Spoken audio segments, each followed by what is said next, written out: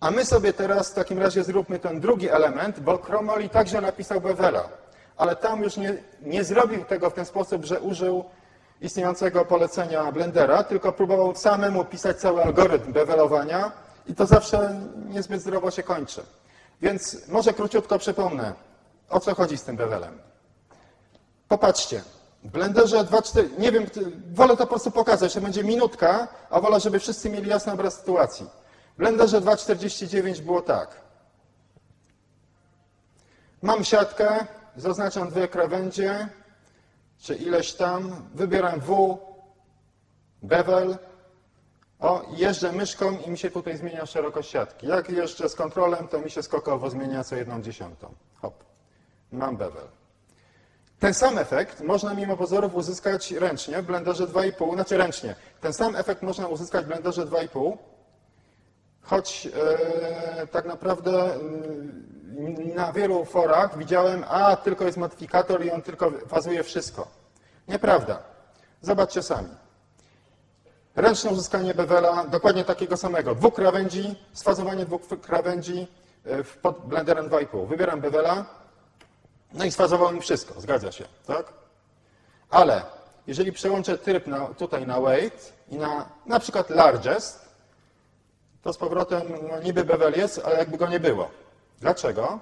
Dlatego, że teraz y, będą fazowane tylko te krawędzie, które mają zaznaczone wagę fazowania, większą niż zero. A na dzień dobry wszystkie mają zero, o czym łatwo się tutaj przekonać, już Wam pokazuję.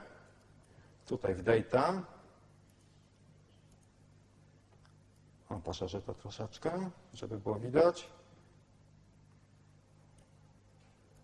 Krawędzie, to będzie edges, niżej, o tu, dobra. To są krawędzie naszej siatki i tutaj każda krawędź, widzicie, ma bevel weight, jest takie pole, równe 0. I wielu z kolei innych użytkowników twierdziło, e, to można zmieniać tylko za pomocą Pythona. No, za pomocą Pythona to można zmieniać, ale jak przeczytałem po prostu instrukcję do Blendera 2,5 na Blender Wiki, to się okazuje, że jak tutaj wejdziemy sobie do Toolsów i przejdziemy do Mesh Options i tutaj przełączymy się na Tag Bevel, to teraz trzymam wciśnięty klawisz Ctrl i klikam myszką, e, prawym klawiszem myszki, nie, i muszę się jeszcze tylko przełączyć na, na te, na krawędzie. I teraz klikiem, klikam prawym klawiszem myszki. To bevel tak, mi się, bevel weight tej krawędzi mi się zmienia na 1 i się fazuje. O, proszę. Dwie krawędzie sfazowane jak trzeba. No, można narzekać, bo tak, to zależy od stylu pracy. Jeżeli e, pracujemy, mi na przykład taki, taki modyfikator jest super, odpowiada, bo jak modeluje samolot, to fazuje krawędzie na sam koniec. Więc idealnie to upraszcza siatkę, nie martwię się, że jak coś będę musiał zmieniać, to, to będzie z powrotem kaszana. Inni mają inny styl pracy, bo na przykład jak przeczytacie na forum komentarze Mrysia, to zobaczycie, że on beweluje co chwila prawdopodobnie, bo wykorzystuje to jako narzędzie do tego, żeby zagęszczać siatkę na przykład w sposób określony. I mu to bardzo, i mu bardzo brakuje tego starego polecenia, które się nazywa destruktywnym bevelem, dlatego że ono zmienia siatkę. Oczywiście my też to możemy przekształcić na destruktywny bevel. Teraz wystarczy, że teraz nacisnę apply. A, tylko że nie w edit mode. Apply. O. Już mamy faktycznie prawdziwe werteksy siatki. E, tak, zrobił się destruktywny bevel. Tylko dla porządku, żeby potem nie było zaskoczeń, zobaczcie, te nowe, nowo powstałe krawędzie siatki dalej mają bevel weight równe 1, bo są na żółto. Ja teraz je muszę znowu pozaznaczać i powyłączać im to to, żeby przypadkiem to się nie odezwało czkawką przy następnym zastosowaniu tego modyfikatora. Czyli, krótko mówiąc, dużo klikania, mimo wszystko w 2,5, jeżeli ktoś chce mieć destruktywny bevel, to jest dużo klikania, dużo kłopotów. Nie ma, bez dwóch zdań. No ale od czego jest skrypt? Zróbmy sobie sami Bevela. Dosyć marudzenia, dosyć opowiadania, że chciałbym mieć Bevela, chciałbym mieć Bevela, gdzie ten Bevel, no dawajcie Bevela. Macie tutaj jakby co, ja zaraz pokażę jak to zrobiłem. Tutaj macie gotowego pod tym adresem. które działa. Znaczy, jak mówiłem, wszystkie adresy będą za chwilę podane w jednym miejscu. Więc jak robię? Ja to oczywiście nie będę pokazywał, jak go piszę krok po kroku, tylko zasygnalizuję główne fazy tego tworzenia i pokażę, że można debugować wtyczki Blendera za pomocą Eclipse, bo to jest też taki mały haczyk. No. Ok, to sobie 2,5 to sobie na razie zostawimy ku miłej pamięci. Czyli tak. Mm. Wracam do Eclipse'a i przygotowałem sobie, pierwszym krokiem, który robię, to jest implementuję, nie robię na razie żadnego operatora. Robię po prostu skrypt, który wykonuje wszystko to, co ma, co ma być zrobione. I taki skrypt zrobiłem. Nazwałem go Bevel. Ja tutaj cały ten kod po prostu wkopię, skopiuję do naszego skryptu. OK. Usunę, nie, jakichś breakpointów nie ma, w porządku, nie ma. I teraz pokażę Wam, że on zadziała. Tylko usunę to, co tutaj było do tej pory zrobione. Usunę modyfikator, to też mi nie jest potrzebne. Dobra. Sam skrypt należy uruchamiać sobie tutaj, oczywiście już sam pisałem komentarz, w trybie e, edit mode, no więc tak zrobię, dlatego że to jest na razie coś roboczego, nie sprawdzam tej poprawności danych. Wystarczy, że zaznaczę dwie krawędzie i teraz uruchomię run script. A, tylko zaznaczę jakiś breakpoint, to za chwilę. W porządku. Nie, nie w porządku, przepraszam. Nie uruchomiłem naszego debugera. Najpierw muszę uruchomić debugera, żeby zaczął nas, y, serwer debugera, żeby zaczął nasłuchiwać, a teraz dopiero uruchamiam Blendera.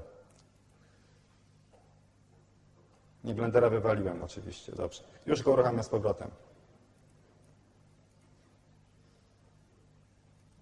Tak to jest, jak się człowiek zagada.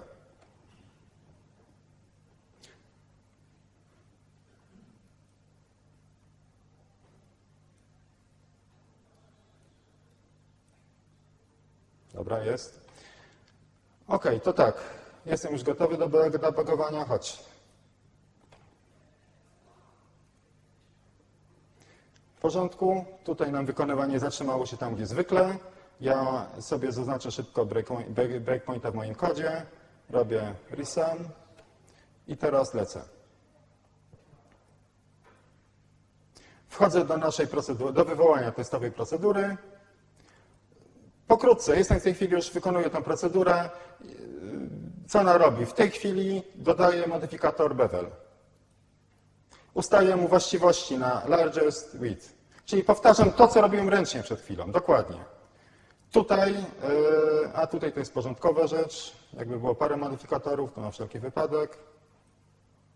Tutaj dodaję e, dodaję, yy, zmieniam wagi tych krawędzi, które są zaznaczone. To już pójdę dalej, a dobra, niech się przejdzie, to jest kilka, ileś krawędzi.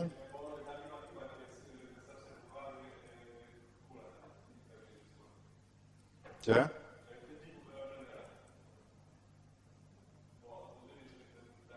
No i tam będzie, y, tam jest cube. No, no. Spokojnie, jak się wywali, to też będzie pokaz, prawda?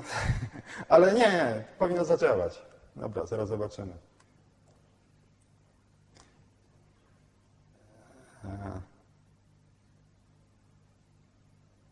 Chyba się wywalił, masz rację.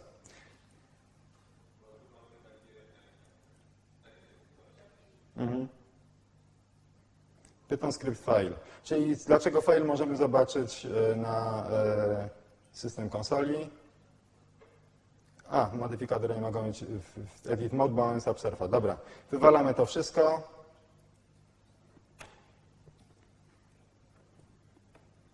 Mówiłeś, że co, jaki tutaj błąd popełniłem?